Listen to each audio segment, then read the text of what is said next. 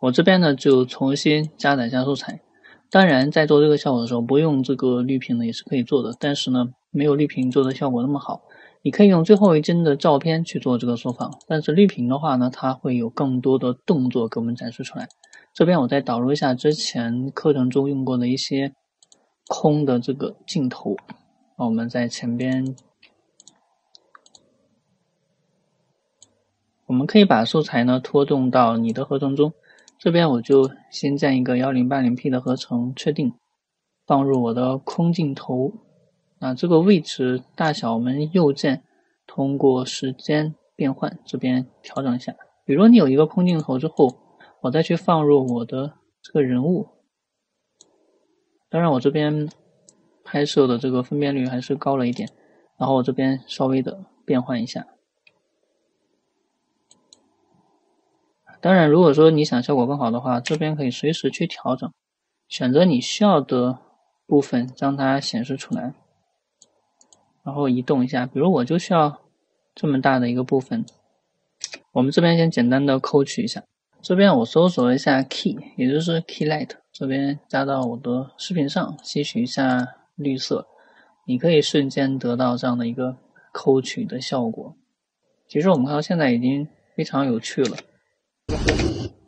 然后这边声音先关一下，人物已经在这个背景上了，但是因为细节方面需要呢，我们二次去调整。然后人物本身没有怎么动，其实你要做的就是在这个蒙版中，通过组合蒙版把这些噪点简单处理一下，修剪一下黑白，得到一个干净的蒙版。这边回到最终结果，如果边缘有一些这个颜色或者是这些溢出颜色的话。我们对这个边缘可以简单的调一下，收缩一点。所以怎么样抠呢，都是很灵活的。自己呢尝试不同的方式。我这样子就做了一个非常简单的抠取。当然，你如果拍摄前期拍摄好的话，就不像我这个样子，拍摄的这个地方呢留下了一些小的瑕疵。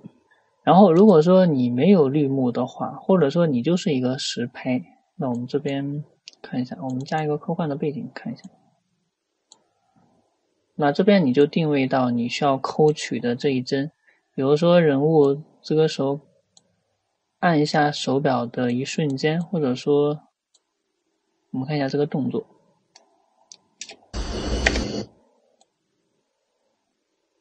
我们往前找一下这个动作，比如按下的这个瞬间，你可以把你的画面这边我们给它拆分一下，通过编辑这边可以。拆分图层，那我后边就可以用这个比较传统的方式。那比如说你不是实拍的话，你只能说用钢笔工具抠一下人物的轮廓。好的，这边我们就不对这个背景做过多的调整了。我们选中两个图层，进入重点。这边比如说人物从这个地方开始缩放，那我们这边来看一下。那你从这一帧开始，它就后边不再运动了。那如果说你是绿屏的话，就不用担心这些问题了。但是如果你不是的话，你就需要在这边右键把它时间冻结一下，让它变成一个图片。那我们这边就开始选中你上方的图层，这边我们按一下 S 键打开缩放，然后移动一段时间，让它变成零。注意缩放的时候一定要确定好中心点。我们缩放的中心点是让它从中心往下，而不是那这边不要移动图层，选择中心点工具。我们要先看一下这个缩放，它现在啊中心点在这个地方，我们将它移动到下边，靠下一点。那我们缩放的时候，就是基于这个点移动一段时间开始去缩放，这样子缩小，实现你要的效果。我们先改成零，看一下是否够用。前边我们稍后去处理，这边先暂时放在这边。这是一个初步的一个缩小的效果，这个层暂时隐藏一下。可以时间稍微长一点。有了这个效果之后，你可以开启一下运动模糊，在图层上也开启一下。这个时候你会看到一个很强烈的运动的变化。那我们这个图形呢，可以选中关键帧选中，进入到图表这边，可以在它的地方用速度图表。首先我们来点击这个缩放，在缓动的地方加一点缓入。那我们在后边的这个针上边你可以拉一下，让它的速度快一点。我们来看一下这个这样的一个调整，看起来就像突然间缩小一样。这是一个初步的状态，然后我们需要呢再加一些这种影子跟随上去。所以这个槽我们先重命名一下，避免出现混乱。这个是人物，然后这个是我们的，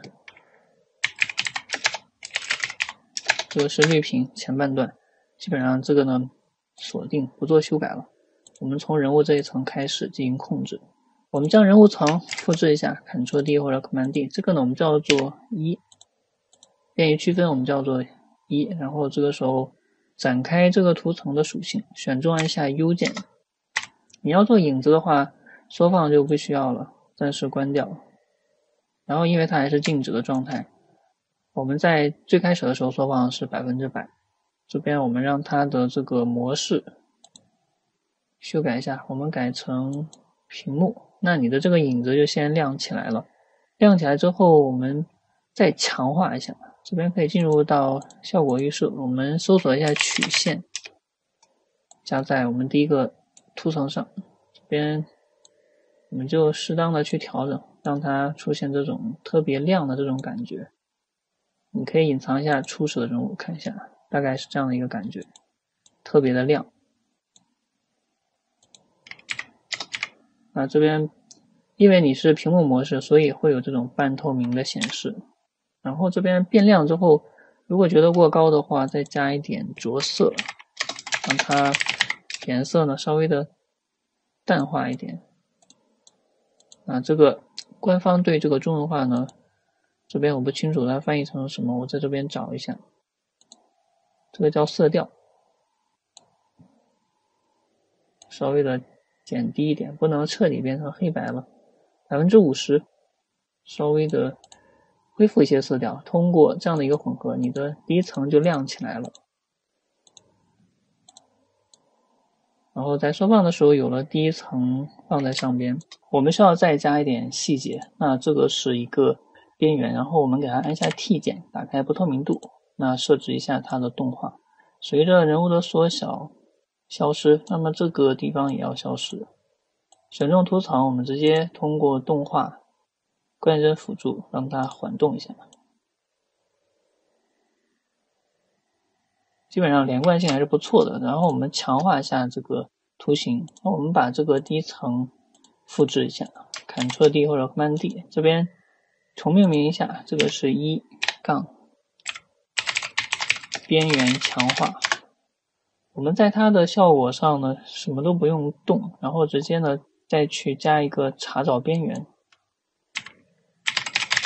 通过查找边缘强化一下这个层，你会看到会出现像卡通一样的边缘。我们将它反向一下，你会得到更亮的一个边缘的强化的效果。我们看一下之前和之后，这地方的话是非常明显的。然后我们这个时候继续强化其他的细节。那我们这边选中人物层，复制一下，放在上边，可以重命名叫做二。这边我们在它的缩放的时候，比如缩放一阶段之后，把它的这个位置裁剪一点，所以它不在一起出现。我们这边再裁一点。那这一段呢，我选中它按下 U 键，我们把关键帧给它删掉，缩放的关键帧这边稍微往前一点，我们直接将它删掉。所以你裁剪了一段，删掉了它的关键帧，大概我们看到是八十五这个样子。然后我们需要呢再把效果给它粘到这个层上，因为这个层上没有任何效果。我们在之前做的图层一上把这个曲线和色调选中，编辑复制回到图层二，编辑粘贴，给它也加上这个亮的这些效果。那这个图层模式呢改成屏幕，这样子你就有了第二份，可以看到啊，第二份的这个效果。那同样的办法，我们这边移动，再做个第三份。那你这边继续复制你的人物层，放在上边，重命名叫做三。那这边三的话，裁剪一下，按下 U 键删掉缩放的关键帧，选中这个层，粘贴一下效果。图层模式改成屏幕，因为本身这个图层我们都。属性都一样，所以复制过来之后就可以看到这样的一个缩小的变化。然后这两个图层的不透明度，通过第一个图层的 T 按一下，打开不透明度，选中复制一下，然后第二个图层按下 T，然后这边你可以看到它的位置在这边，然后我们粘贴一下，关键帧就有了。那我们第三个图层也是选中它，按下 T 键，粘贴一下，这样子我们的基础的缩放的动画就有了。然后我们再加一些这个闪光的元素进去。所以我们刚才做了三个副本，闪光的话继续用这个人物去做副本，Ctrl D 或者 Command D 复制一下。这我们做一些模糊、模糊光之类的效果。这边看一下我们这个图层的位置，你可以在它这个位置开始，在第二个这个动画的时候开始。那我们可以选中它，按下 U 键，看一下我们这边是不需要缩放的，这个层呢。人物层就直接去闪，所以不需要这个缩放的关键帧。本身这个层也没有任何效果。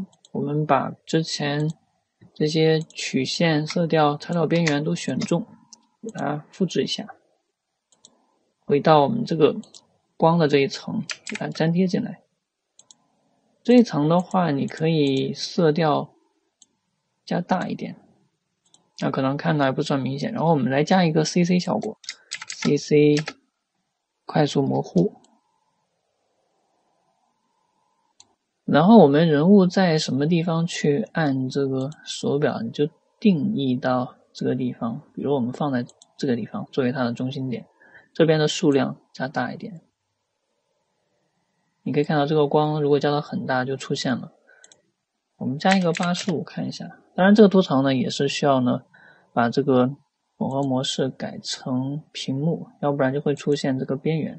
这样我们还有这个层，单独看一下，这个层是这样的一个光源。我们看这个是通过我们这个效果做出来这样一个光源。所以这个层呢，我们就给它设一个八十五，暂时设置这样一个参数，然后显示一下。那么在后边选中它，按一下 U 键，我们看一下这个关键帧。这边开启一下数量的关键帧，重新按一下 U 键显示一下，可以看到数量的关键帧。那我们在这个画面上让它缩小之后，产生数量的变化，数量从八十五变少，我们加到十五。当然，如果我们是绿屏抠的话，那你这个背景就更灵活了。那么人物如果说在缩小之后，你可以让它缩小到一部分的大小，留出一点点。这个一点点的时候，我们的人物呢还可以继续维持一些运动。然后你可以反方向再让它缩回去。所以我们看这个就是更多的一个灵活性。这个就是绿屏带来的好处。如果没有绿屏的话，后边就没有办法更好的去做这些衔接了。比如我们可以再看一下。